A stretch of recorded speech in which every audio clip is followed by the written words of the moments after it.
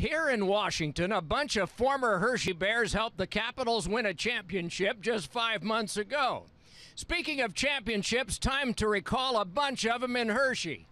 Hi, Mike Emrick here from the NHL on NBC, inviting you to join me on Friday, December the 7th, as we return to Old Hershey Park Arena for Hockey Night in Hershey, celebrating 80 years of Hershey Bears hockey with the premiere screening of the documentary Bars to Bears Hershey's Hockey Dynasty. And as part of our old time hockey theme, classic Bears misfits Archie Henderson, Gary Rissling, and Dennis Bonvie will be back. The Hockey Hall of Fame is bringing all three trophies that the Bears have won in their history the Boardwalk Trophy, the original Calder Cup, and the current one. There will be silent and live auctions and lots more surprises. Visit the Hershey Historical Society website at hersheyhistory.org, and we'll see you December 7th at the Old Barn.